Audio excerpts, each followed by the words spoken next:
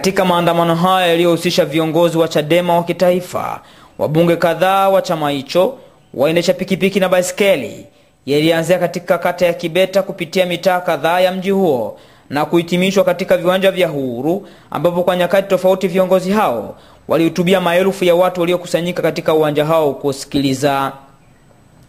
Wakiongea kwa kupokezana, wabunge wa chama hicho kutoka mikoa mbalimbali waliokuwa katika msafara huo walitumia nafasi hiyo kuwalaumu wananchi kwa kuchagua Chama cha Mapinduzi kwa madai kuwa iwapo wangechaguliwa wao mambo yangekuwa tofauti na sasa.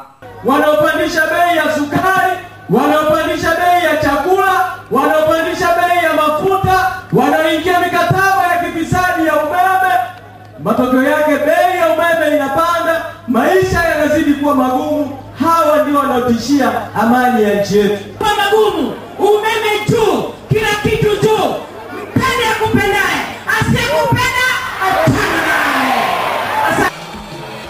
upande wa viongozi wakuu wa chama hicho, mwenyekiti wa Chadema Taifa Bwana Freeman Mbowe na katibu wa Chadema Dr. Wilbrod Slaa, mbali na kuongelea mambo ya ufisadi na ugumu wa maisha kwa ujumla, lakini walitumia fursa hiyo kuwashukuru wananchi wa kuwapatia kura kwa nafasi ya urais licha ya kwamba hazikutosha. anapita uzazi mdogo, anamwambia washushe wao huko kiwandani, ambapo serikali inatoza kodi, huko haitaguswa.